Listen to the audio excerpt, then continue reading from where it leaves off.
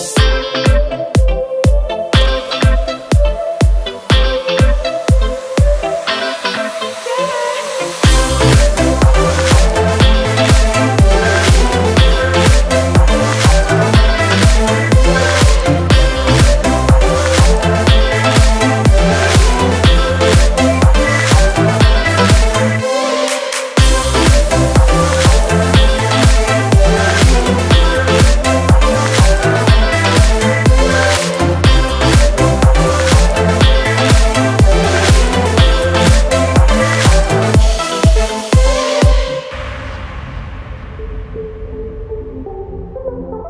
Di meja-meja itu, kami jadi saksi.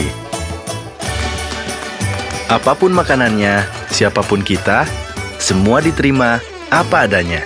Dan itulah arti saudara sebenarnya.